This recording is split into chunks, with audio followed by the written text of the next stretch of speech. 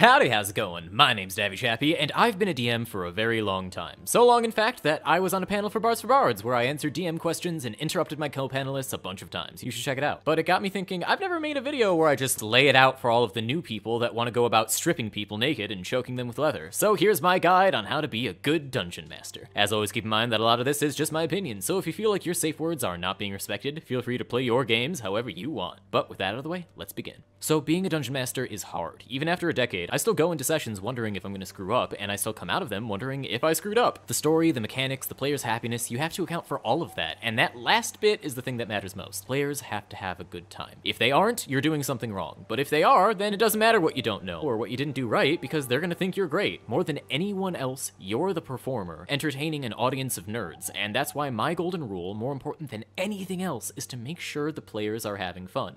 And you might notice that I didn't include you in that rule for largely semantic reasons. Your players should be uplifting you. The whole reason why you DM should be to get the satisfaction of being a source of happiness for your players. So seeing them accomplish goals, tell stories, make jokes, all those things that are packaged into the role of the DM when you take the job, those things don't drive you, then you're probably not going to enjoy the responsibility that also comes with it. My first time playing D&D was technically playing Pathfinder at my high school D&D club. I started as a freshman and by the time that I became a senior, nobody else was around to run the club because all the DMs had graduated, so it was left to me to figure out how it all worked. Now, I was not the type of student to study before a test, and I wasn't about to change that, so my first session consisted of me getting a group together to play Pathfinder, a game that I still wasn't sure about whether it was just a spin-off or not, coming up with a random story set in Eberron, a world not in the Pathfinder universe, although that didn't really matter because I was literally only using it for a map, unrolling that blank tan battle map that every tabletop group owned, and making up some bullshit about a god stealing the city of Sharn, and now the players have to go save it. The monsters were nonsense with made-up stats, the places they went would make the current me cry with all of the lore inconsistencies, and the players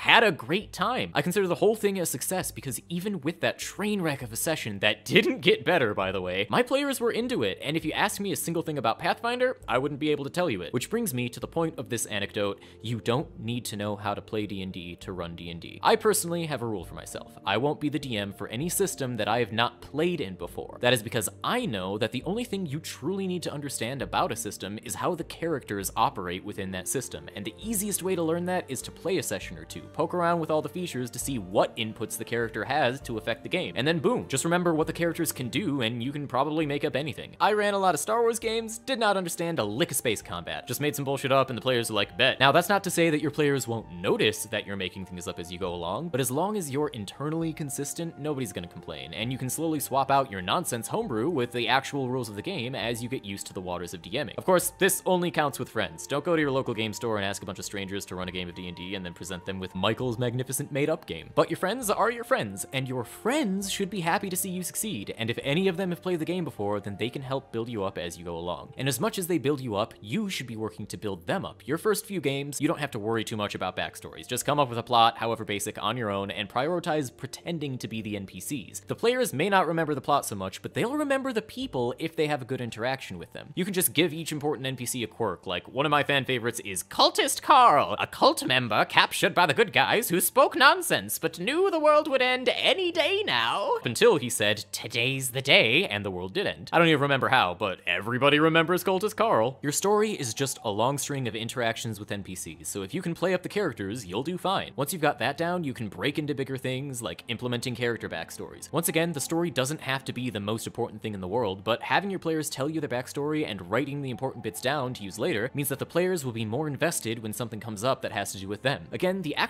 campaign story doesn't have to be important, although it can be, but the little interactions that the players have session to session are the things that make it great, so don't sweat not being an RR fantasy writer. Finally, I know I've talked about this before, but I cannot stress enough the importance of shaping the game to your party. Let me ask you a quick question. When you're making your encounters, which of these encounters is more difficult? An encounter of 5 kobolds or an encounter of 10 kobolds? The answer is that neither of these is more difficult on their own. Alone, they have no difficulty at all, because alone, the world that you build has no meaning. It only gains meaning when you add your players into the equation. For instance, 5 kobolds against a party of level 1s might be a bit challenging, but 10 kobolds against a party of level 5s would be a cakewalk. This is because difficulty is subjective, and while the players should never know it, everything you create should be in reaction to the players. And to a point, we all know this. It's awfully coincidental that the main villain seems to throw out problems that your party is just capable enough to handle, steadily growing in difficulty until they happen to be strong enough to risk taking on the boss. If the party weren't capable of taking on some challenge in the world, then the campaign would grind to a halt. That's just basic game mechanics. So it's your responsibility as the dungeon master to write the game to make that possible. If 10 kobolds aren't enough for a level 5 party, change the kobolds into orcs, or better yet, if it's kobolds that you want, increase their stats and surprise the party with enemies they didn't expect to worry about. After all, if the party can level up, why can't the monsters? This logic can be used to increase difficulty, but it can be reversed just as easily to lower it too. If no one in your party wants to be a healer, then there just isn't going to be a healer in the party, and you should be compensating for that as a DM just like if the party was getting too strong for the encounters. Your knee-jerk reaction to this might be to punish the players for not playing viably, but why? The players voiced that they didn't want a healer because it wouldn't be fun for them, and it isn't the mark of a good DM to respond by purposefully making the game less fun for them in other ways. As we just went over, difficulty is relative, so the only way that they can be hurt by not taking a healer or a tank or a rogue is if you go out of your way to hurt them. Always make the game engaging, but never reprimand the players for not giving in to video game logic. Oftentimes, I'm reminded of a show on YouTube called LARPs. Obviously, by the title, it's about LARPing, but the show tackles the concept of role-playing games in the most realistic and dissected way that I've seen any show do it. It breaks down every type of player that you'll find at a table, the danger of falling into those extremes, the relationship between the players and the DM. It really has it all, and you can make a one-for-one -one comparison between LARPing and D&D in almost every episode. That, and they totally shit on the Mind's Eye Society, so if you want your eyes open to the highs and lows of every part of TTRPG life, and really have a characterized dungeon master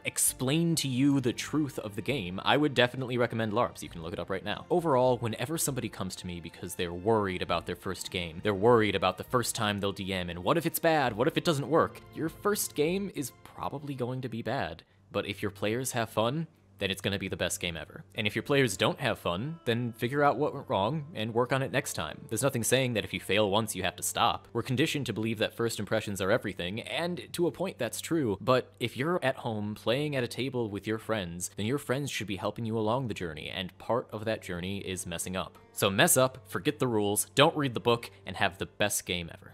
But that'll about do it. I hope you enjoyed this video. Be sure to leave a like, comment, subscribe, ring the bell, check out all my social media in the description below, and maybe support me on Patreon so that I can keep inspiring the masses to get out of their comfort zone. But yeah, Davvy out.